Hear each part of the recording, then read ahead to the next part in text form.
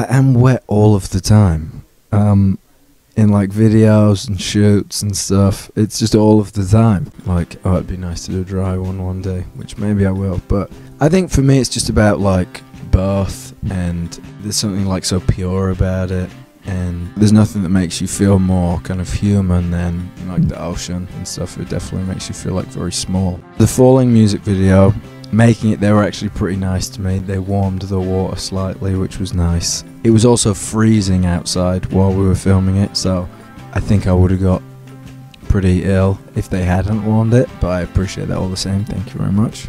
There's a few things in it for me. That feeling of kind of being overwhelmed.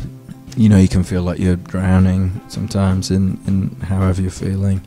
And the fact that it's coming from the piano, I, I guess, you know, it's like writing these songs are what helps, but also they can hurt you.